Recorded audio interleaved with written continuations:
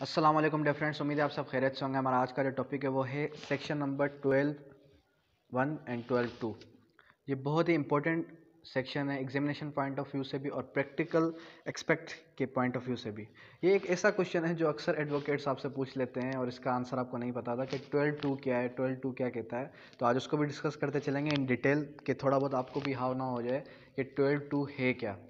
और इन ये लेक्चर सुनने के बाद आप जो है किसी भी एडवोकेट को आंसर कर पाएँगे कि आखिर ट्वेल्व टू क्या है और उससे बेहतर आंसर कर पाएँगे।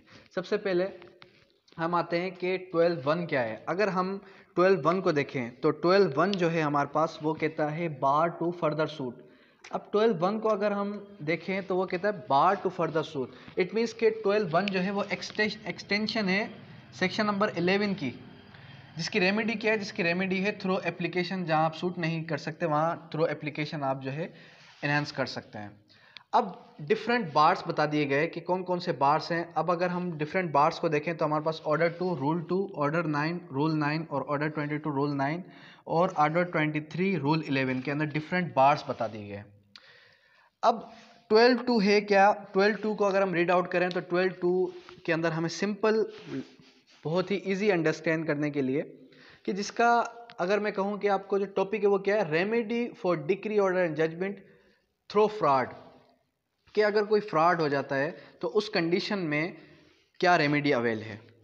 अब अगर हम section two sub class two को देखें where a person challenges the validity और अ जजमेंट डिक्री और order on the plea of fraud plea of fraud की बात आ गई यहाँ पर, ठीक है?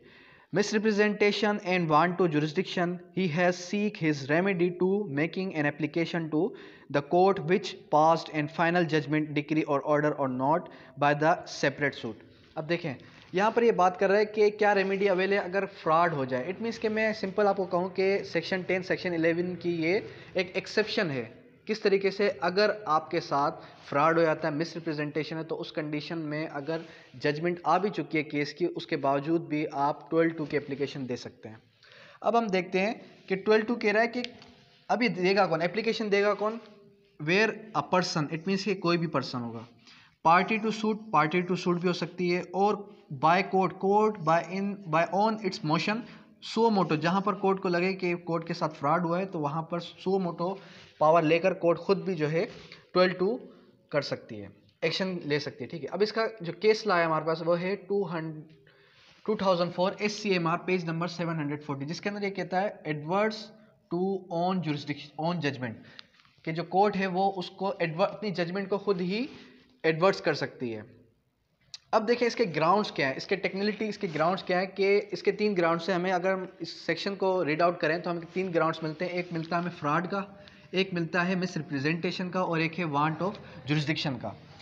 वेयर इट अप्लाई अप्लाई कहाँ पर होगा? ये the court which pass the final degree वो कोर्ट जो फाइनल डिग्री पास करे। तो जो भी कोर्ट फाइनल डिग्री पास करेगी इट मीन्स के वहाँ पर ये एप्लीकेबल होगा। और ये एप्लीकेबल किसके ऊपर होगा? ये किसी भी जजमेंट के ऊपर भी हो सकता है ऑर्डर के ऊपर भी और डिग्री के ऊपर भी। यहाँ तक क्लियर हुई चीज़। अब नेक्स्ट अगर हम देखें, जो नेक्स्ट है हमारे पास, के फ्रॉड के कौन कौन से ग्राउंड्स हैं? जब भी कोई फ्रॉड करेगा तो फ्रॉड के कौन कौन से ग्राउंड्स हैं, इसको थोड़ा रीड आउट कर लेते हैं। टू हाइड देखें अब आपके साथ कोई भी फ्रॉड होता है तो आपको इन डिटेल ये कोर्ट को साबित करना पड़ेगा कि आपके साथ फ्रॉड किस कंडीशन में, आपके पास क्या ग्राउंड है फ्रॉड को प्रूफ करने का। तो फ्रॉड को प्रूफ करने का सबसे पहला जो ग्राउंड है वो क्या है? वो है हमारे पास to hide right to sue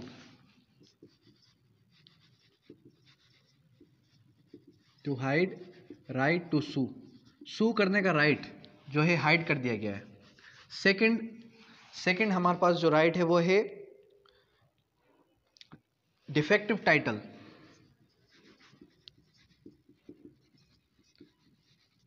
defective title अगर है आपके पास तो उस कंडीशन में भी एक एक फ्रॉड का ग्राउंड बनता है।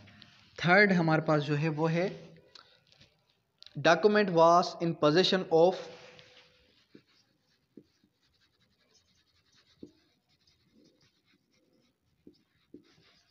in possession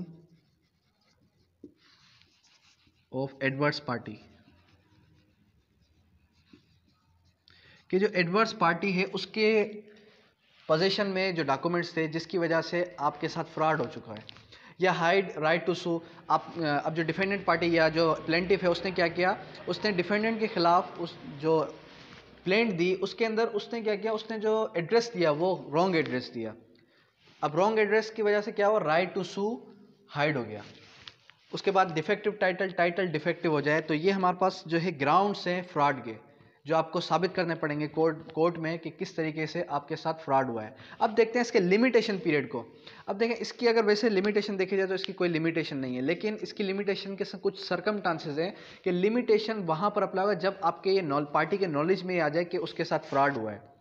ठीक है पार्टी को ये नॉलेज में आया कि उसके साथ फ्रॉड हुआ है, उसके बाद लिमिटेशन एक्ट का जो लिमिटेशन पीरियड अप्लाई होगा, वो होगा article 95 of limitation act three years when it comes in the knowledge of party party के नॉलेज में आने के बाद पार्टी के नॉलेज में आने के बाद जो है लिमिटेशन एक्ट इसके ऊपर अप्लाई होगा लिमिटेशन पीरियड अब लिमिटेशन पीरियड इसका कितना होगा? थ्री इयर्स तो ये बहुत ही नेसेसरी क्वेश्चन है कि एक तो ये कि इसका लिमिटेशन पीरियड कितना है और दूसरा ये कि फ्रॉड के जो इजेंशियल्स हैं वो कौन कौन से हैं? तो फ्रॉड के ग्राउंड्स कौन कौन से हैं? फ्रॉड के ग्राउंड्स जो हैं हमारे पास ये हैं। To hide right to sue defective title और है document was in possession of adverse party अब अगर हम 12 टू की एप्लीकेशन दे रहे हैं तो 12 टू की अगर हम एप्लीकेशन दे रहे हो तो उसके कौन कौन से ग्राउंड्स हैं? उसके हैं या तो फ्रॉड हुआ हो या तो मिस रिप्रेजेंटेशन या फिर वांट ऑफ़ जुरिस्डिक्शन और वेर इट लाए ये लाए कहाँ पर होती है? तो ये लाए वहाँ पर होगी जहाँ पर